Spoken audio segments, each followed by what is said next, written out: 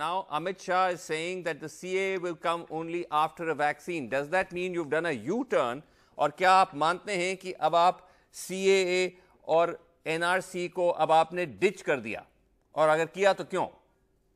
कोई टर्न नहीं कोई स्लो डाउन नहीं है। एक प्रक्रिया है क्योंकि सरकार की तरफ़ से होगी तो सारा सिस्टम को दिमाग में रखते हुए होगा।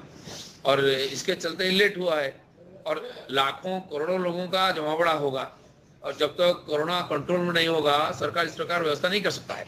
इसलिए सरकार की तरफ़ से जो बयान होना चाहिए वही माननीय गृह मंत्री ने बोला है।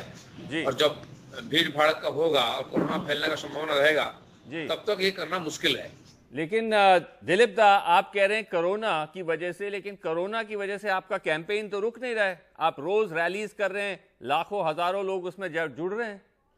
तो ये कैसा एक्सक्यूज है? देखिए सरकारी व्यवस्था में एक कानून कानूनी तरफ़ से होता है सब कुछ। प्राइम मिनिस्टर की मीटिंग होम मिनिस्टर की मीटिंग ये जो उसमें ये सारी व्यवस्था लागू होती है लेकिन पब्लिक मीटिंग यहाँ भाजपा वेस्ट बंगाल में ममता बनर्जी ने भी कभी नहीं मानी ना लॉकडाउन माना ना कोई डिस्टेंसिंग माना। हम्म। चल रहा है। ये यहाँ चल जाता है लेकिन सरकार जब लागू करेगा कल एक जगह तो नहीं है दूसरे जगह में भी होगा हम्म। उसको व्यवस्थित रूप से होना चाहिए और सिस्टम के अंदर होना चाहिए। अच्छा। क्या असली वजह यह नहीं है कि आप मानते हैं और आपने द प्रिंट, जो ऑनलाइन पोर्टल है, उसको इंटरव्यू में भी आपने कहा है कि उसका मेन रीजन यह है कि जिस तरह से एनआरसी आसाम में इंप्लीमेंट हुआ था, उसमें बहुत सारे हिंदू फंस गए थे। इसीलिए आप उसको लागू वेस्ट बंगाल में नहीं करना चाहते, क्योंकि वो आपके अगेंस्ट जाएगा। नहीं, नुकसान नहीं है। हमने वादा किया है, पहले सीए करेंगे, क्योंकि ये पॉजिटिव काम है। इसमें आधा समस्या समाधान हो ही जाएगा।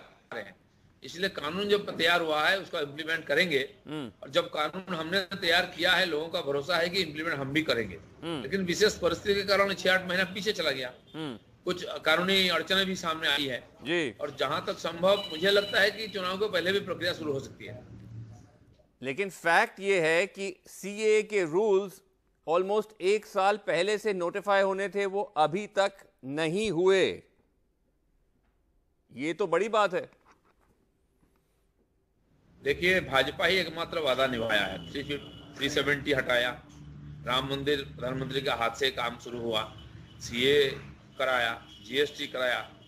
सत्तर सत्रह साल से जीएसटी का चर्चा हो रहा था नहीं हुआ लेकिन भाजपा ने किया है।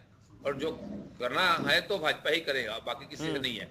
ममता बनर्जी के पास बोलने के लिए आज कुछ नहीं है। अपना पार्टी अपने कंट्रोल में नहीं अपना सरकार भी नहीं है। हम्म। मंत्री भाग रहे हैं पार्टी छोड़ करके। बहुत मुसीबत में है। तो इसलिए वो अपने घर की तरफ़ झांके हमने वादा किया हम निभाएँगे। लेकिन आप कब? आप अभी भी मेरे को एक डेट नहीं दे पा रहे हैं।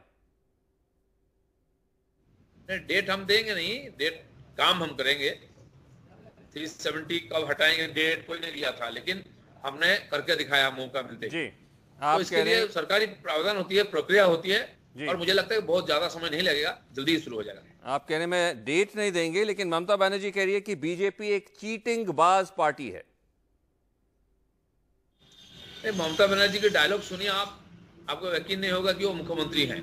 और जितना पार्टी टूट रही है लोग भाग रहे हैं वो उतना हताश निराश होकर के इस प्रकार और मंतव्य कर रहे हैं इस प्रकार और कमेंट्स कर रहे हैं। हम्म। लोग उसको सीरियसली नहीं लेते हैं। Right. लोग जानते हैं भाजपा ने कहा है भाजपा ने कानून बनाया है भाजपा ने हमको right. नागरिकता देगा और Dilip Ghosh thank you very much इंडी धन्यवाद आप हमारे साथ जुड़े